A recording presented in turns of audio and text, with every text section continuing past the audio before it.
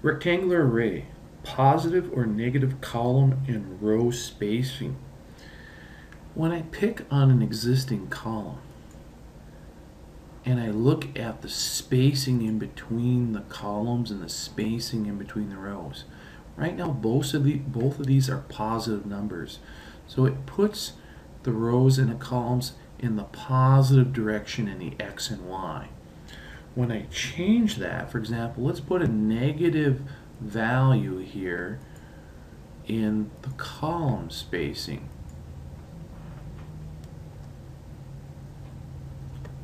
And so I put a negative value in and I click and it flips it over so that the columns are on the left side essentially. So in case you didn't see that, I'll put a positive value in here. And so when it's positive, it's over on the right side. When it's negative, it goes towards the left. Okay? So let's put a negative value in here for the rows. When I put a negative value in, it goes downwards in the negative y. So whenever I put a negative in the in the row spacing, it goes downwards. If I put a negative in a column spacing, it goes to the left.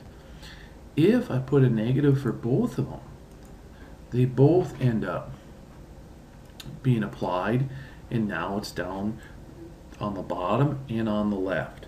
So which way you put a positive or negative number on the spacing for columns or the spacing for rows matters in its determining the direction in which the uh, the array is going to grow from its source point. All right. So its source point, the original, the object. So I'm going to put them back to both positive now so we can see the difference.